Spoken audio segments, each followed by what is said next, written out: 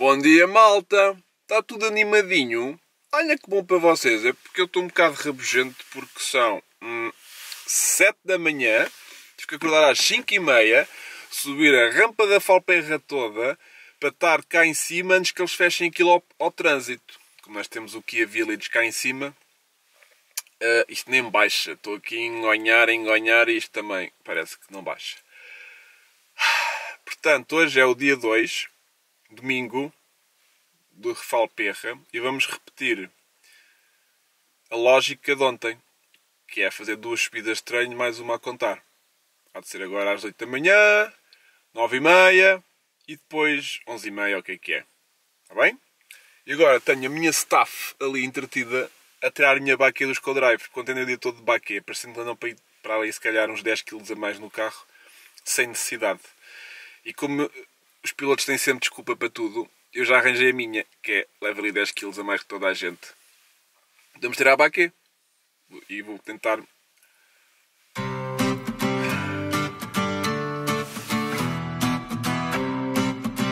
Pumba! Olha a baquezinha.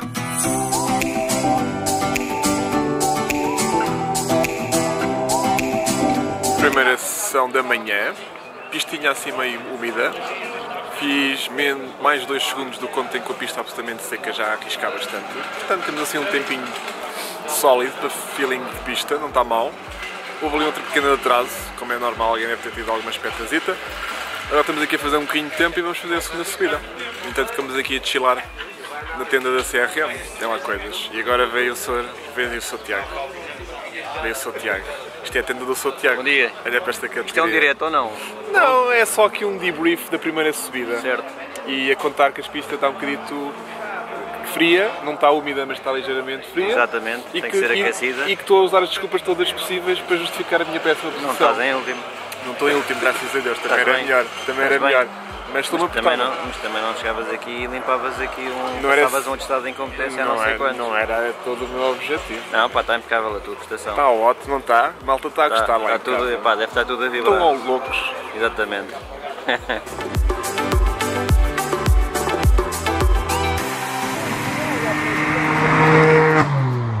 Acabei agora a segunda subida. Correu muito bem, quarto tempo, à geral. E já consegui apanhar ali um bocadinho mais do feeling do carro. Só que agora começou a chover. Portanto, todo o feeling que uma pessoa adquiriu nesta subida, toda para o galhete. Portanto, agora vou feito menino outra vez, ganhar o grip toda a subida, com e guys. Vamos ver como é que vai. Temos que fazer pela vida para correr bem. Se não correr bem, ah pá, correu menos bem. O importante é, é participar, não é? E na dúvida, travar um bocadinho. Está bem? Vamos lá, vamos lá, vai correr bem, vai correr bem. Vou-vos contar como é que foi aqui a terceira subida de domingo, é que contou para a classificação.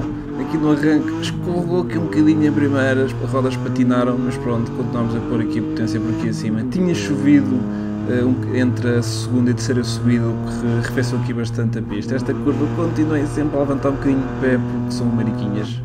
Aqui travei bem, entrei para a curva, mas de facto depois à saída tive que levantar um bocadinho de pé porque ele escorregou um bocadinho à frente e eu não me quis também ficar logo ali e mantive-me.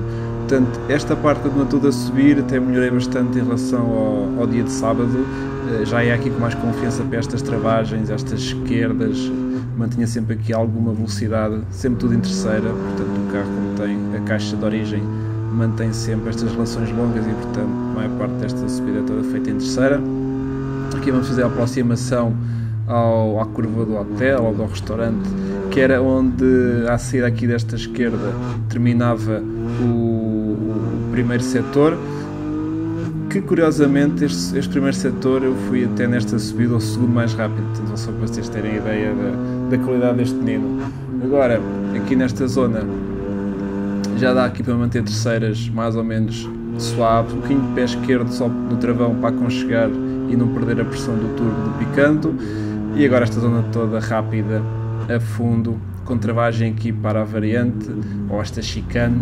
Já não metia segunda, já metia aqui terceira, porque o carro saía aqui mais ou menos às 4 mil rotações, portanto era, chegava perfeitamente para sair aqui da curva. E a zona rápida, que é aquela miolo aqui da pista onde eu perdi eh, um bocadinho mais tempo, outra vez pé esquerdo só para aconchegar o carro para a curva e sair também com o boost do, do turbo ainda em altas e bem, esta zona é toda a fundo, toda a fundo. Isto o picante aqui nesta zona rápida, depois de começar aqui a descer, bate ali nos 170 km por hora, que já é uma velocidade impressionante numa estradinha de montanha. Aqui vai ser então a curva da morte, esta próxima direita. Tinha havido aqui um acidente grave com o Alfa 147, então estava tudo sujo do lado esquerdo. Eu não, não, não saí logo para a esquerda, portanto saí por dentro, que era para não ir para a zona suja e também se perde um bocadinho de tempo, mas era igual para toda a gente. Pronto. Aqui a curva do Fojo estava, estava melhorzinho, já fiz toda a terceira, no sábado andava a fazer segundas, portanto, terceira chegava perfeitamente para sair da curva. E aqui a última, último par de direitas esquerdas rápidas. E esta direita já a fundo que manda lá embaixo para a curva do Papa, travagem para a segunda. E saída aqui na Apex tardia já deu um 2,50, foi o suficiente a fazer aqui o quarto tempo à geral.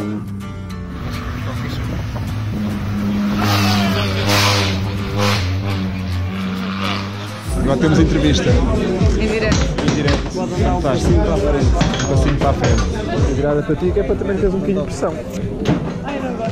Não, não quero fazer entrevista. Não. Estou a ser gravada, pá. Que vergonha.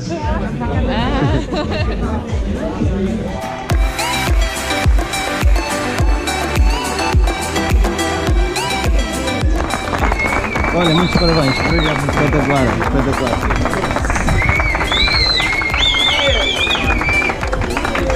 Olá, obrigado. Não disse! Não disse! És um mentiroso!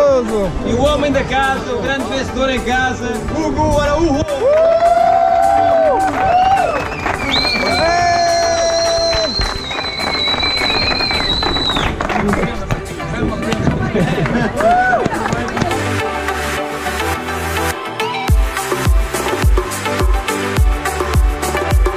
Já vamos a caminho de Lisboa. Vamos levar aqui ótimas recordações de Braga. Felizmente correu tudo bem. O carro está impecável, ouve lá, impecável. Estou há dois dias aqui em Braga, estou com o junto a casinho impecável, mesmo aqui do Norte. Pá, super contente aqui com a máquina, correu tudo muito bem. Eh, fizemos aqui um honroso terceiro lugar, se bem que é um quarto, porque o Manuel Leão, essa máquina do automobilismo, como é convidado, é um guest, não conta aqui para as contas do campeonato. Mas na prática, pronto, fiquei um quarto à geral, eh, mas que na realidade traduz num terceiro. Eu, tenho, eu vou-vos mostrar. Ei, onde é que está? Aqui! Olha! Uh! Depois vou arrancar isto, que é para depois poder comer aqui a partir de agora todos os meus jantares. Agradecer a toda a malta que passou lá para assinar o carro, fui dar um abraço, desculpem não ter eh, falado com toda a gente, porque, ou não ter dado a devida atenção a toda a gente, porque realmente aquilo é um bocadinho estressante a nível de logística para cima e para baixo e coisas a fazer no carro e tudo mais. Agradecer a todos os patrocinadores, evidentemente, que fizeram isto possível. Dar um grande abraço à Sofrapa, que era o patrocinador que faltava aqui na parte de trás do carro e que me vai ser muito útil nas próximas provas em que o carro já vai circular para, na estrada até à prova, neste caso vai ser Vila Real, no final do mês de junho. Uh, vai, ser, vai dar muito jeito de ter ali um apoiozinho logístico e de ferramentas. Eu agora uh, vou tomar banho, estou um porco imenso, tipo, isto foi duríssimo, mas estou muito contente o terceiro lugar, não estava à espera, eu acho que não estava assim ninguém à espera de terceiro lugar, só vocês, que são uns alucinados que achavam que isto ia, que eu ia ganhar aquilo, mas não se ganha, não, está a gente que sabe conduzir e muito bem. Portanto, um grande abraço, sigam a série do Picanto, vão aparecendo nas provas, vocês todos têm que assinar o Picanto, que lá está, temos muita chapa para pintar e para assinar. E agora vamos despedir com uma quarta ou quinta, não sei, porque a gente quer ir dormir. Grande abraço e até para a próxima maltinha boa do YouTube, está bem? Fui!